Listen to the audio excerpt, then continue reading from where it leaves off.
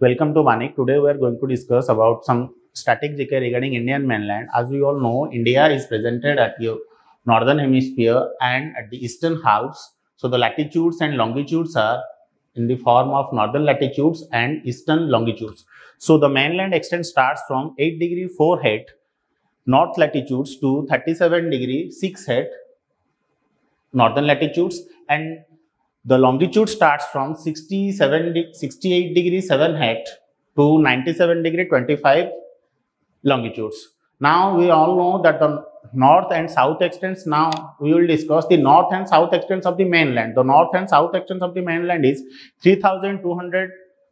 3214 kilometer and the eastward extension is 2933 kilometers. As we all know the as the shape of india explains that on the eastern side we have bay of bengal and the western sides we have arabian sea and the southern sides we have indian oceans.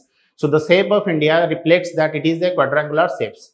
Now let us discuss some boundary points or some important boundary points of india. First we will discuss the important boundary of that is eastern points that starts from your Kibithu that is your Arunach- that is at arunachal pradesh and the western boundary points that is your Gaurmatha that is at Gujarat.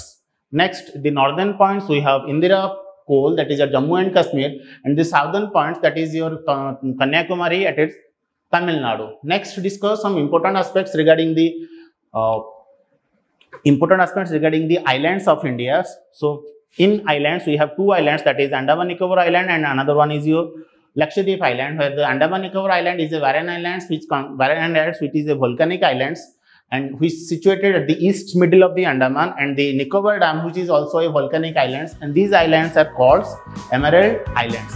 Thank you. We will continue this topic in the next class. Please like and subscribe.